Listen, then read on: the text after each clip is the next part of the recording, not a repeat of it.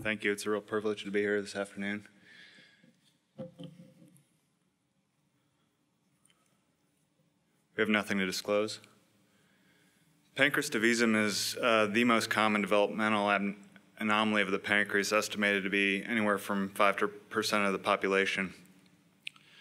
There's only a small subset of those individuals with pancreas divisum who will eventually go on to develop symptoms, and there's three sort of manifestations of symptomatic pancreas divisum. Uh, the first being just recurrent epigastric pain without any evidence of pancreatitis.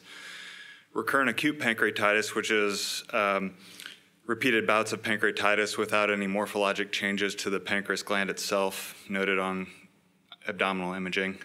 And then chronic pancreatitis. And the the last two, there is some evidence that they exist on the same spectrum of disease pattern, but uh, many people still treat them as separate disease processes. And here's sort of the two main morphologic changes in chronic pancreatitis. You can have calcific disease, which is that on the left, or dilated pancreatic duct.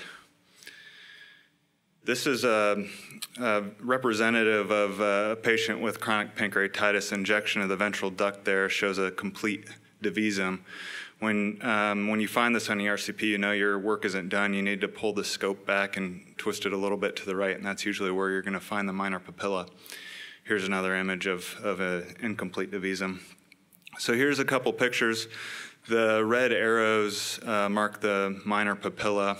The first step in this is cannulating the minor papilla, which can be quite difficult as there's oftentimes a stricture there right at the papilla then performing a minor papillotomy, and then uh, any interventions that are deemed necessary. So you can either um, remove stones from the pancreatic duct if you can get beyond them. There's a few different methods uh, to do this. The one shown on the left there is using a, a wire-guided basket to remove stones, and then dilating any strictures in the pancreatic duct with a balloon balloon dilation, or you can use an over the over the wire uh, dilator. And then uh, our practice is to usually place a stent and then um, bring them back for a stent removal in about two months. And if it, the patient's had a good response and um, the lesions in the pancreatic duct, either the stones or the strictures are completely resolved, then remove it at that time. If not, then we would perform additional interventions and typically upsize the stent to the uh, next biggest size. So um, there uh, really isn't any good data to guide our therapy um, for patients with uh, chronic pancreatitis secondary to pancreas divisum.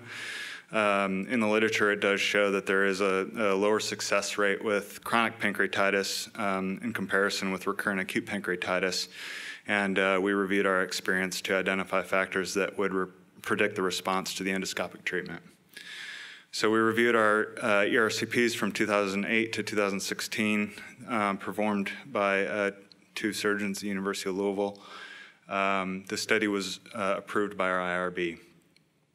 We grouped our um, our patients into two groups. Uh, the first being one to two ERCPs versus three plus ERCPs, and the rationale here is that um, a patient who responds initially will undergo um, either one or two ERCPs, one to, to, do the intervention, place a stent, the second one to remove the stent, uh, versus three plus ERCPs is someone who uh, fails to respond initially and uh, requires subsequent interventions. And our hypothesis was that the three, three plus ERCP group would uh, be more likely to go on to require eventual uh, surgical intervention. Our comparisons, uh, age, gender, labs, the type of symptoms they were experiencing in terms of the location of their pain, imaging characteristics, and the number of hospitalizations prior to their initial ERCP, and then outcomes, uh, improvement of pain after their initial ERCP, and then the subsequent need for operative intervention. Uh, we used a t-test, chi-squared, and Fisher exact test, depending on the type of variables we were comparing between the two groups, and then uh, logistic regression um, to identify independent risk, independent factors predicting the response. So we performed a total of 4,610 ERCPs during this study period, and there were five, 75 patients who were identified um, who underwent ERCP for the management of chronic pancreatitis pancreas divisum, which is the largest series in, in the literature to date. Um, There were one third who uh, underwent one or two, and two thirds who underwent three plus, so 25 and 50. Um, 53% had initial improvement, and uh, 37% went on to surgical intervention. The comparisons, um, we found uh, back pain to be uh, associated with needing three plus ERCPs, and there were no um, there were no st- statistically significant differences in the preoperative pre-procedural uh, lab values. And then dilated common bile duct was also associated with needing three plus ERCPs. And then on the outcomes, uh, we did we did find, as expected, that three plus ERCPs was more likely um, to require uh, eventual operative intervention. On multivariate analysis, only the presence of a dilated bile duct was independently associated with needing uh, three or more ERCPs, um, and back pain just trended toward but did not re- reach statistical significance. This is a retrospective study. It's a complex disease process and uh, oftentimes a very heterogeneous patient population, um, which uh, limits the ability to make generalizations um, from the data set.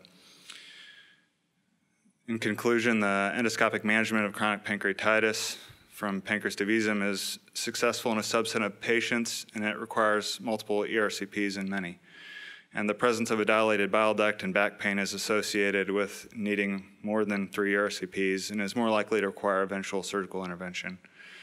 So patients who do have dilated bile duct or back pain um, may indicate a more advanced disease process that is less likely to respond to ERCP, and they should um, possibly be considered for surgical intervention earlier in the course. Thank you.